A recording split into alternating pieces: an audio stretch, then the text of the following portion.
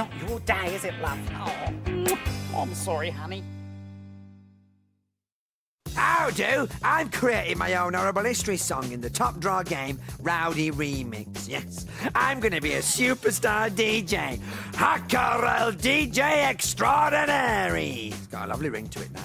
Now, if you want to have a go and be a musical maestro like me, go over to CBBC Games, choose your track, and pick all sorts of effects and noises to make your own songs. And who knows, you may end up top of the pops in the CBBC chart. Oh, get you, show off! These are the cadets. So who's excited and ready to go? Let's get the uniforms on and get out. These are the emergencies. There's believed to be a man overboard. The right's gonna get you. They can only do it if they work together. This is Hero Squad. There is a man who's fallen down a hole. It's really deep down there.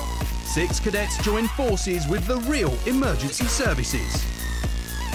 He's done it. Brand new Hero Squad starts Monday at 6:15 on the CBBC channel.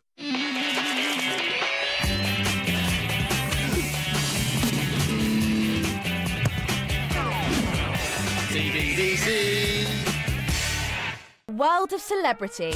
Glamorous, exciting, fun. But what about the stars behind the stars? He makes sure that we all know what we're doing and that we feel comfortable and that we don't hurt ourselves. Without all the coaches that we have, not one of us would be the players that we are. We set them challenges at early ages. Well done. He's actually watching what we're doing and creating it to make it sound one. CBBC meets the VIP people who make it happen. That's a wrap. Starts next Monday at 4.30 on the CBBC channel. Hello, it's me, your handsome hero hacker. Now listen up, I've got some top news for you.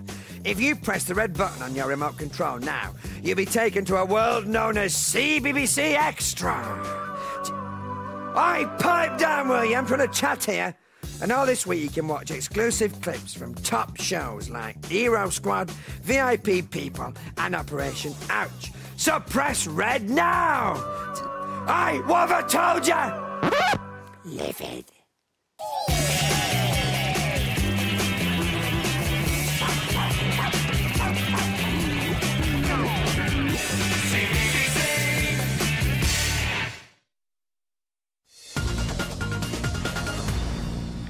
Hello, this is Newsround. I'm Ricky with your first update this Sunday. First to the USA. Americans have just one month until they decide whether to keep Barack Obama in power or elect a new president. Last night, Obama announced on Twitter that his campaign raised a record $180 million in September. That's a record to date. The money comes from supporters who donate cash to help Obama and his party, the Democrats. It can be spent on advertising in the countdown to the election. Obama's rival, Senator Mitt Romney, is fighting to take over the White House. Now it's a big day for England's women cricketers who take on Australia in the World 2020 final at half nine later. England beats their rivals in the group stages, but Australia are the current champions. Opening the, battling, the batting will be captain Charlotte Edwards and Laura Marsh. She's hoping the final will improve support for women's cricket in the UK. I think the game's growing massively. It's growing all the time. Um, you know, the awareness of women's cricket is is growing all the time and you know you know our followers on Twitter things like that the messages we're receiving from home you know compared to the last World Cup is, is grown enormous enormously so we're really pleased about it Bit more sport for you now, and in the Premier League, Chelsea are four points clear at the top of the table. They beat Norwich 4 1 at Stamford Bridge. Frank Lampard was one of Chelsea's goal scorers. Now, the X Factor finalists have sung live for the first time. Chris Maloney in the overs category was picked as the wild card, and the 13 finalists were treated to a special appearance from the One Direction lads. Here's what advice Liam had for all of them. I think the best thing that we can say to finalists is just have a good time. You know, there's a lot of pressure and stuff with everybody watching, but you got to go out there and enjoy yourself and just have a good time. We'll have more X Factor and Strictly News later on this morning. That's it from me. I'm back in about an hour's right time. See you then.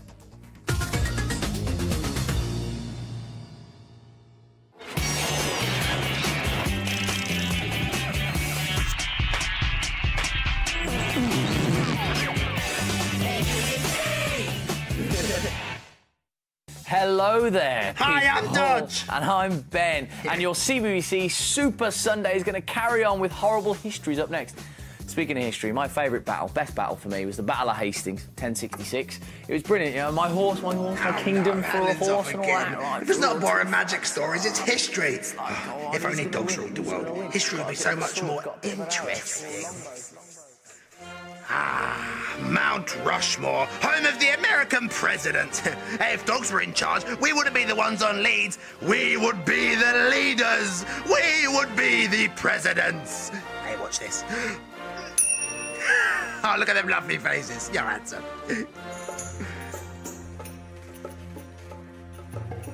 Ah, the Sphinx. If dogs ruled the world, there'd be none of this cat nonsense, no. Canines would be top dogs. Mm. You're lovely. Keep up the good work. Ah, Big Ben. No longer would it be Big Ben, for it would be Big Dodge. Mm. Lovely face. Dodge, what are you doing? What? How did you get into my daydream? Through the doggy flap. Hold on, why's your face on Big Ben? Well, I'm imagining what things would be like if dogs ruled the world, Ben. Hey, come on, follow me. I'll show you something All good. right. Behold the leaning tower of pizzas. Yeah, if dogs ruled the world, this pizza tower would never have fell over. Well, first of all, it's the Leaning Tower of Pisa, not Hmm? pizza. Second of all, you can't stick your face on this because there's no face for it to go. What a bet! Whoa, whoa, whoa, stop this now, stop this. You can't go around sticking your face on historical monuments. That's just not right. You need to brush up on your history. My Glad you asked. How about you check out Horrible Histories? Enjoy. Uh, how do we get out of here?